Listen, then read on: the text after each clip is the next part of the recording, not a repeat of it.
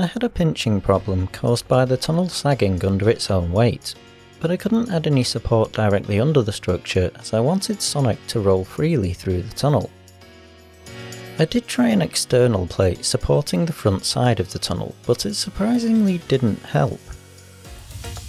If we examine this screen grab closely, we can see that the curved arches sit just that little bit tighter against neighbouring bricks, so it seemed that any extra internal support may not have been of any use.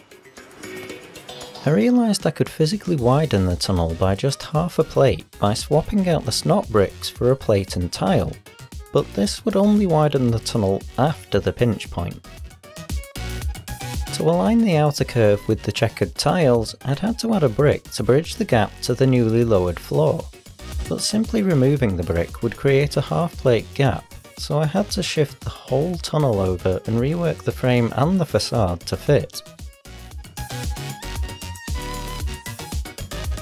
Following many hours of reworking, I gave the tunnel a test run, and Sonic rolled perfectly through the widened gap. However, testing the tunnel with the lift arms threw me a curveball, which I'd kind of anticipated but had hoped wouldn't be an issue. As Sonic returned down the tunnel, the lower lift arm had rotated back around and was blocking his passage, my first thought was rotating the arms at different speeds, but that would create a desynchronization that would get worse with each rotation. I could perhaps rotate the lower arm at half the speed of the upper arm, but then Sonic would suddenly speed up halfway up the tunnel. What if I could stop the lower arm for the duration of one rotation of the upper?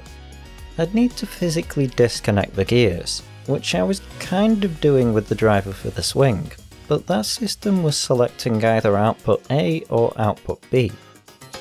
What if I could move the lift arm out of the way while still rotating? If I removed the gears from a gear selector, then the axles would move with the driving ring and could move a lift arm in and out of position. Then I could keep gears meshed with a second driving axle by using a pair of gears, so one was always in contact, but the motion would need to be short and sharp, not a continuous oscillation, and once the position was changed, it would need to be held there. I had a prototype mechanism from another planned part of the build, in which a small gear is connected to a larger gear and briefly makes contact with a third gear with each rotation of the larger gear. This generates small incremental steps in the rotation of the third gear, which is exactly the short sharp movement I'm looking for, I wanted the arm to move 2 units distance to make sure it was definitely going to miss Sonic on his way back down the tunnel. It looked like my prototype was moving far enough, but I wasn't confident it was starting and returning to the same place each time, so I asked Tink for a second opinion, but she wasn't sure either. I needed the lift arm at the output to rotate 180 degrees with each movement, and I recalled seeing a video that demonstrated perfect 90 degree rotations, so if I could recreate that and gear up the output to a 1 to 2 ratio, I'd get my 180 degrees. Luckily I just so happened to have the gears I needed, and a new prototype rig looked good, but nothing ever works easily in my builds. After building the mechanism onto the main framework, it was occasionally jamming, and I couldn't understand why. I poked and prodded at it for a while and finally managed to trace it right back to the very first gear. Every few rotations the gear's teeth were colliding with the teeth of the second gear, instead of slipping between and meshing. Having no idea how to fix the issue, I consulted my unofficial Technic guide, searching for any alternative solutions or inspiration, but instead came across a solution for a different problem. A stepper motor uses a lift arm and an elastic band to clamp down on a turn wheel and prevent it from rotating freely, which is just what I needed to prevent my mechanism slipping out of position. It worked like a charm. That is, until I assembled the rest of the mechanism. But this jamming wasn't caused by the first two gears. This was a new jam. Following some more poking and prodding, I found that I'd connected the stepper's output to the wrong point on the moving axle. Shifting it forward one unit got it working smoothly again. Giving it a test run, it was pretty clunky, which I think was down to the framework flexing as I turned the handle, so I made some changes to the frame and ran the test again. Oh good, a new problem. This one was quite an easy one. The first arm was shifting over too early and simply needed to be disconnected and wound on a little so it shifted after the changeover. Okay, next problem. Sonic falls off at the top. Needs extra brickwork to form a physical barrier to prevent him falling. Cat on the table preventing progress. Cat must be fussed over to be appeased. Okay, let's try this again. Still looking a bit clunky, but overall a success. With the mechanism working, I now needed a way to return Sonic to the mechanism.